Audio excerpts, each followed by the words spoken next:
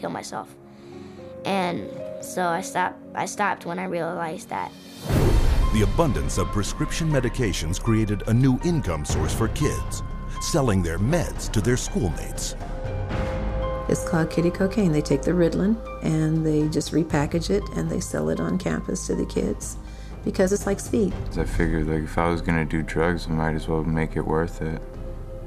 And I ended up doing street drugs and then I ended up getting into it really bad. We're looking at um, marijuana and other things as being gateway drugs, and actually the, the so-called medications are a greater gateway drug. The Ritalin drugs are backfiring big time because if the child is already disruptive and he takes cocaine, he's going to be a lot more disruptive after he's taken it. It is not going to calm him down.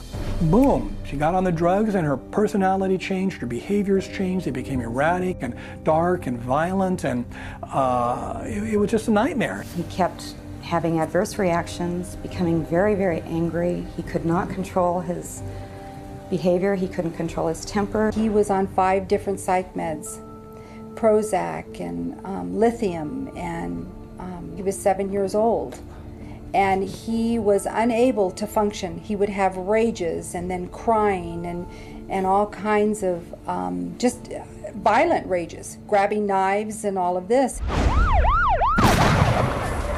The list includes 15 year old Kip Kinkel withdrawing from Prozac when he shot 22 classmates, killing two after murdering his mother and stepfather at his home in Springfield, Oregon.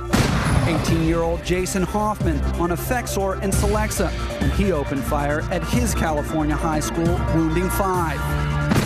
15 year old Sean Cooper on a mix of antidepressants when he shot students in Idaho. And 17 year old Eric Harris on Luvox when he and partner Dylan Klebold killed 12 classmates and a teacher in the bloodiest school massacre yet Columbine. And all of this overshadows the very reason children came to school in the first place to get an education.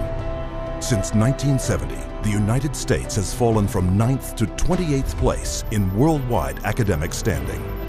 While during that same period, the number of American school children labeled with learning disorders has skyrocketed, and the sales of ADHD drugs have multiplied 32 times. Children don't ask for psychiatric drugs. Children don't ask to be diagnosed. They don't want to be called crazy. So you ask to ask the classic Roman question, legal question, cui bono, who benefits?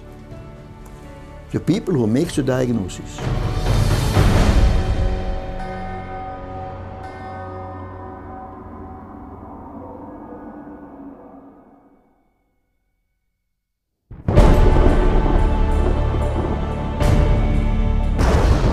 psychiatry should actually go into government, that politicians should listen to psychiatrists. Psychiatrists should be in every parliament and should direct and monitor political activities.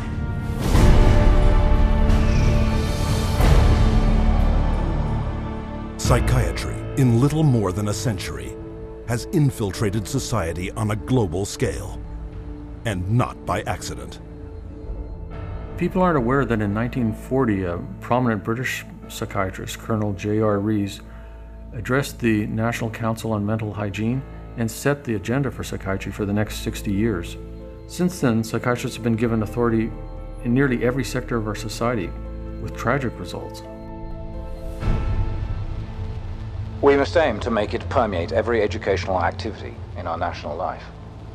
Public life, politics, and industry should all of them be within our sphere of influence.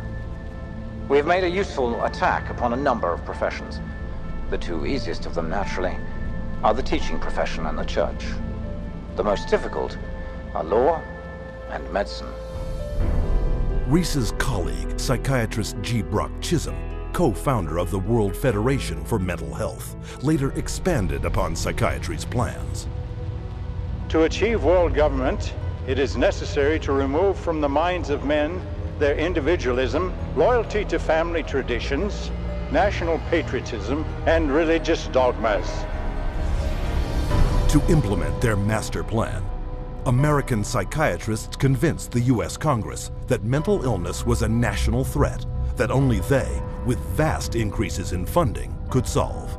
And thus began massive U.S. government expenditures for psychiatric research, which have climbed from $1 million a year in 1946 to $1.4 billion today, an increase of more than 139,000%. As psychiatric influence spread across America, it also spread throughout the world. Behind crisis after world crisis,